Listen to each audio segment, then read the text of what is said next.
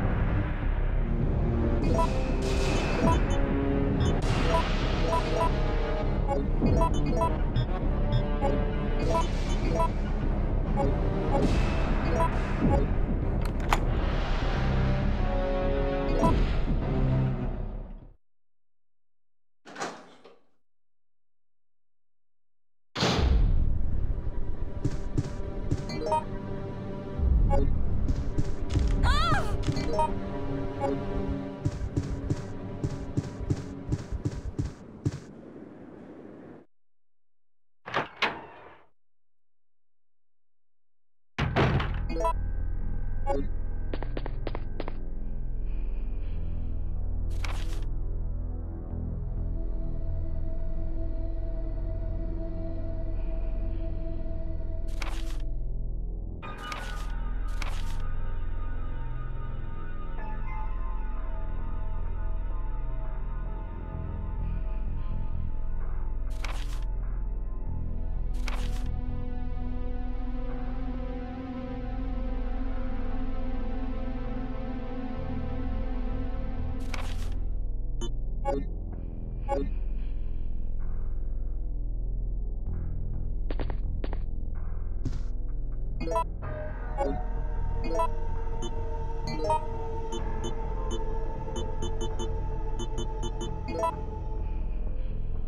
Thank you.